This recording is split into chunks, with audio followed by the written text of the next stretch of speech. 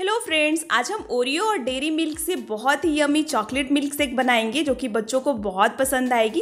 और ये फटाफट दो मिनट में बन जाती है। तो इसके लिए मैंने यहाँ पे ओरियो और ये डेयरी मिल्क लिया है। उसके बाद हम लेंगे जार और सबसे पहले हम बिस्किट को रफली तोड़ के जार में डाल देते हैं। हमें इसे पीस के पाउडर बना लेना है। तो इस तरह से हम तोड़ करके डाल देंगे सभी बिस्किट को और एक को हमें बचा के रख लेना है ऊपर से गार्निशिंग के लिए। और यहाँ पे मैंने एक बचा के रख लिया है और यहाँ और यहाँ पे मैंने पाँच पाँच वाला दो डेयरी मिल्क लिया है फ्रेंड्स। अगर आपको टेन रुपीज़ वाला मिल जाता है तो आप एक ले लें। टेन रुपीज़ वाला एक डेयरी मिल्क। उसके बाद हम इसे भी तोड़ करके डाल देते हैं इस साथ में। और यहाँ पे चीनी डालने की ज़रूरत नहीं है फ्रेंड्स। वैसे तो ये ऑलरेडी मीठा है। अगर आपको वैसे ज़्यादा मीठा पसंद है तो आप यहाँ पे दो तीन चम्मच चीनी डाल सकते हैं। उसके बाद चलिए, अब हम इसे मिक्सर में पीस लेते हैं। और यहाँ पे मैंने इसे मिक्सर में पीस के एकदम बारीक पाउडर बना लिया है फ्रेंड्स उसके बाद हम इसमें एक ग्लास ठंडा दूध डालेंगे। नॉर्मल साइज़ के ग्लास से हमें एक ग्लास एकदम ठंडा दूध लेना है फ्रेंड्स दूध को मैंने फ्रिज में रख दिया था। उसके बाद डाल के इसे मिक्सर में मिक्स कर लेते हैं अच्छे से।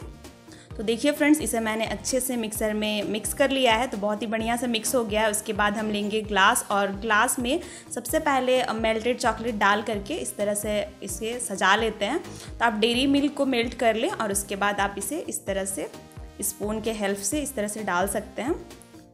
और इसे बढ़िया सा एकदम सजा लेना इस तरह से। और उसके बाद हम इसमें चॉकलेट मिल्क शेक को अब हम फील करेंगे इसमें। तो अब हम फिल कर देते हैं।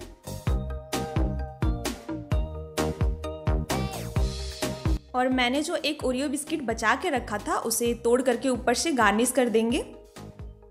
साइड साइड में डाल देते हैं। थोड़ा सा ऊपर से मेल्टेड चॉकलेट डाल देंगे। इस तरह से।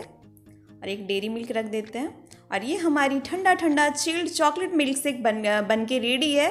तो ये बहुत ही यम्मी बहुत ही टेस्टी है फ्रेंड्स बच्चों को ये बहुत पसंद आएगी और बनाना भी बहुत ही सिंपल है। तो आप भी इसे घर पे बना के ज़रूर ट्राई कीजिएगा। और अगर आपने मेरे चैनल को अब तक सब्सक्राइब नहीं किया है तो सब्सक्राइब कर लीजिए फ्रेंड्स ताकि आने वाली कोई भी वीडियो मिस ना हो। तो मिलते हैं हम नेक्स्ट वीडियो में। तब तक के लिए bye bye thanks for watching